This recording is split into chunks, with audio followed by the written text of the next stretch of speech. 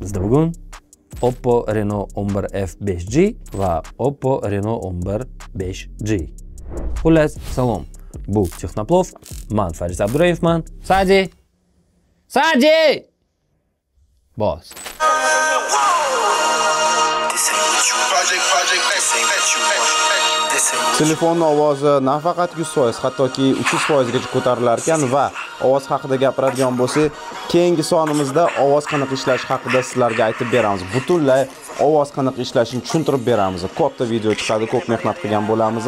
O'shanga o'tkazib yubormanglar. Keyingi sonda kutinglar. Fariz esa keyingi safar o'zi bossin, men chaqirib o'tirmasdan.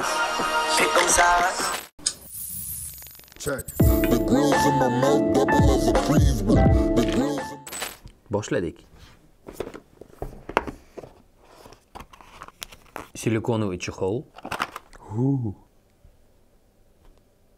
nima deyishni ham bilmayman shunchaki o'zingiz baho bering rangiga va dizayniga quvvatlovchi blok va usb type c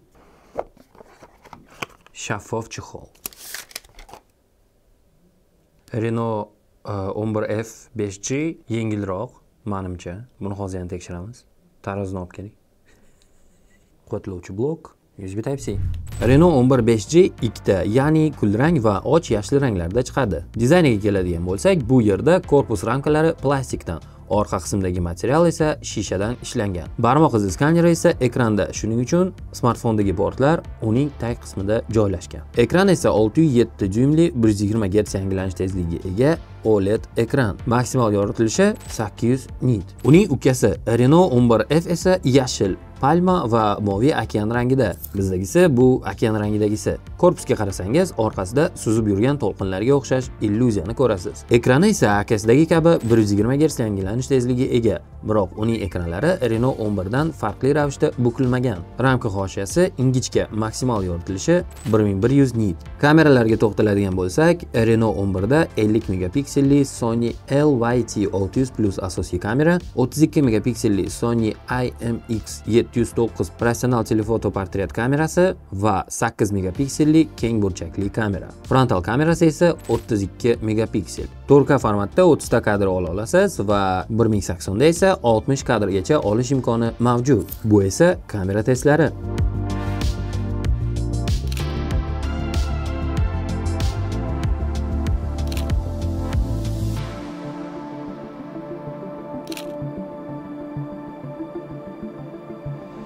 Renault 11F esa asosiy kamera 64 megapiksel. Sony IMX 355 8 megapikselli ultra keng burchakli kamera va 2 megapikselli makro kamera. Selfie kamerasi bu yerda ham 32 megapiksel va videoga ham 30 kadr tezlikda 4K formatda olish imkoni mavjud.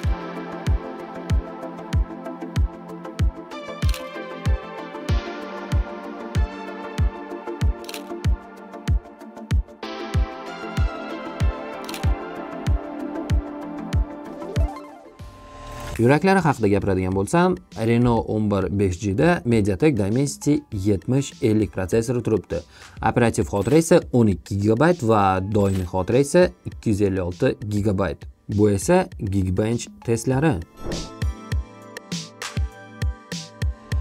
Bu esa o'yin testlari va o'yinlarda necha FPS chiqishi.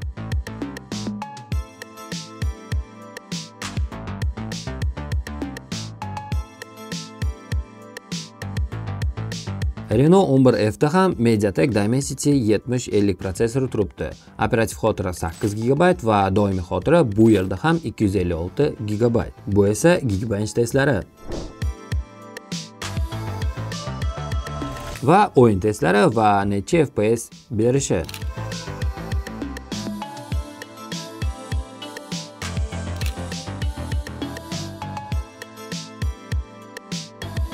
Ana endi batareyalarda to'xtalsak. Renault 11 ning batareya sig'imi 5000 mAh, qutisidan 67 vattlik zaryadlash moslamasi chiqadi. Bu bilan nimalar qila olamiz? Bu quvvatlagich bilan biz 5 daqiqada 17 foizgacha 44 daqiqada 100 foizgacha zaryadlash mumkin bo'ladi. Atigi 5 daqiqalik quvvatlanish bilan siz youtubeda 1,5 soat video ko'rishingiz mumkin yoki instagramda 1,5 soat o'tirishingiz yokida telegramda 1 soati 40 daqiqa o'tirishingiz mumkin. Supervuk aqlli zaryadlashni qo'llagani tufayli smartfondan 4 yil foydalangandan keyin ham smartfon batareyasi 80 foizdan pastga tushmaydi. Renault 11F ning ham batareya sig'imliligi 5000 mAh va uning ham qutisidan 67 vattlik quvvatlagich chiqadi. Tushunganingizdek u ham tez quvvatlanishni qo'llab-quvvatlaydi. Renault 11F da yana bir qiziq funksiya mavjud ekan.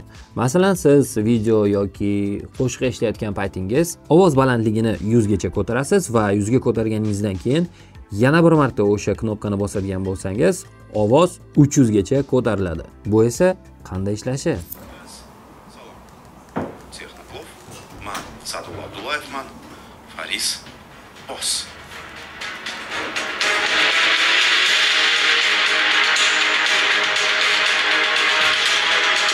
Ana endi eng qiziq joyi ya'ni bularning narxlari.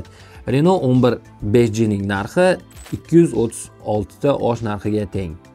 Renault 11 F 5G ning narxlari esa 176 ta osh narxiga teng.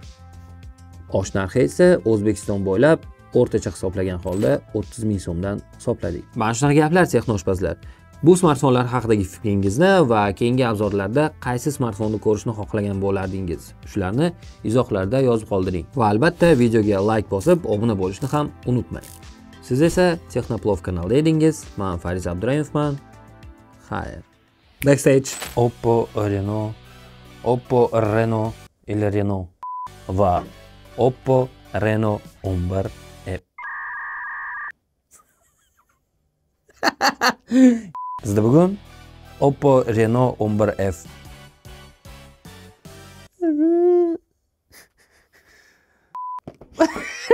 Вот так же видно, да? Сенсеант, северим.